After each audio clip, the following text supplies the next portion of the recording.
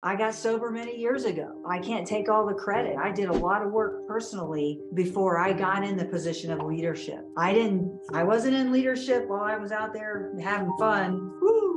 Know, like getting in trouble. My leadership started after I got clean. And I learned a lot about life, about how to take care of yourself first, you know, that oxygen mask first, preparing myself mentally, physically, and for me spiritually for the world to be able to lead a team. And every time someone drives me crazy on a boat, I just think about, I think about where they're coming from. I try to put myself in their shoes and rise that 30,000 feet.